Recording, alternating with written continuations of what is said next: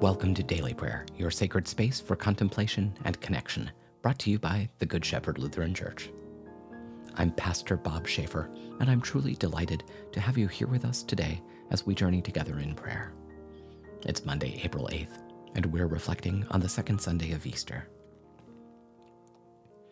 Let's take a moment to still our souls, inviting the peace of God to fill our hearts.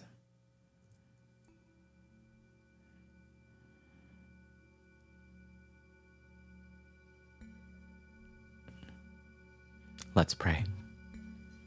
Almighty God, with joy we celebrate the day of our Lord's resurrection.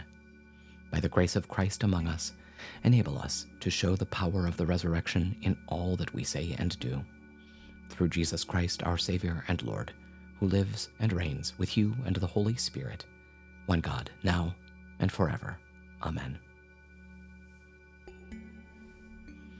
Now let's hear today's scripture reading from the first letter of John, chapter 2. May the Word of God speak to our souls.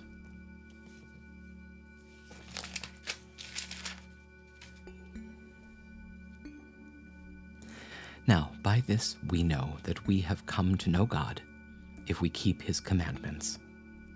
The one who says, I have come to know God, and yet does not keep his commandments, is a liar, and the truth is not in such a person. But whoever obeys his word, truly in this person the love of God has been perfected. By this we know that we are in him. The one who says he resides in God ought himself to walk just as Jesus walked. Dear friends, I am not writing a new commandment to you, but an old commandment which you had from the beginning. The old commandment is the word that you have already heard. On the other hand, I am writing a new commandment to you, which is true in him, because in you, and in you, because the darkness is passing away and the true light is already shining. The one who says he is in the light but still hates his fellow Christian is still in darkness. The one who loves his fellow Christian resides in the light, and there is no cause for stumbling in him. But the one who hates his fellow Christian is in the darkness, walks in the darkness, and does not know where he is going, because the darkness has blinded his eyes. Word of God, word of life. Thanks be to God.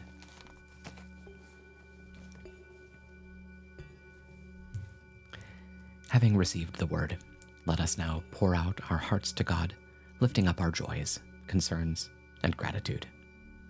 Whether in silent meditation or spoken word, let our prayers unite us in the presence of the Holy Spirit.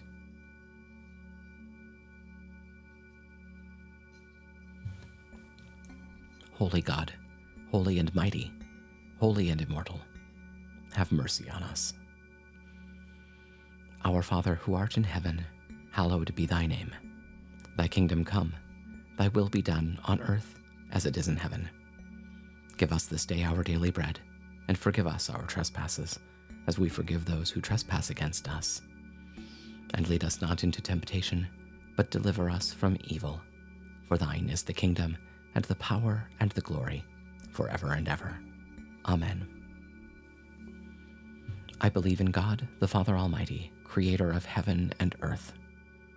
I believe in Jesus Christ, God's only Son, our Lord, who was conceived by the Holy Spirit, born of the Virgin Mary, suffered under Pontius Pilate was crucified, died, and was buried.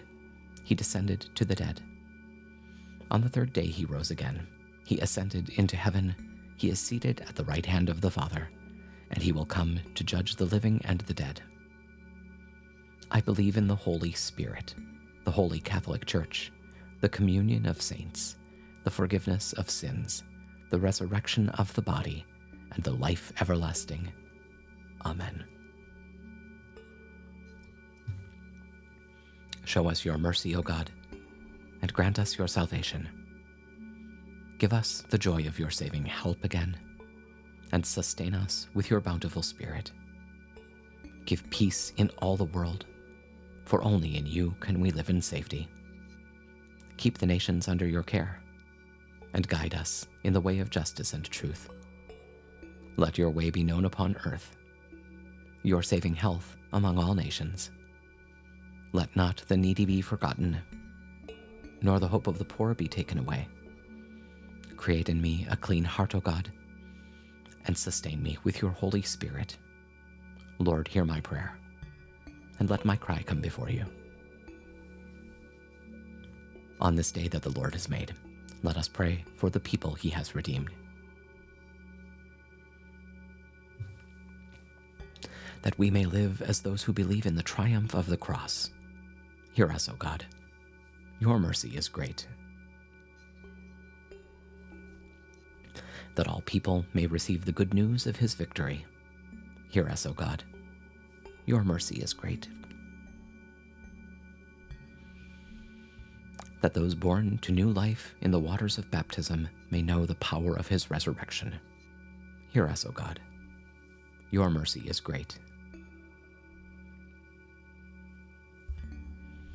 That those who suffer pain and anguish may find healing and peace in the wounds of Christ. Hear us, O God. Your mercy is great.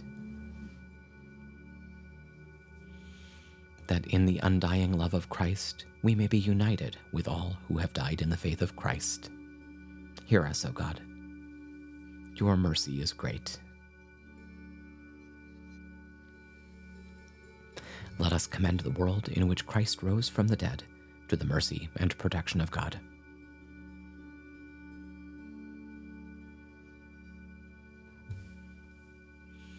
O God, you have called your servants to ventures of which we cannot see the ending, by paths as yet untrodden, through perils unknown. Give us faith to go out with good courage, not knowing where we go, but only that your hand is leading us, and your love supporting us.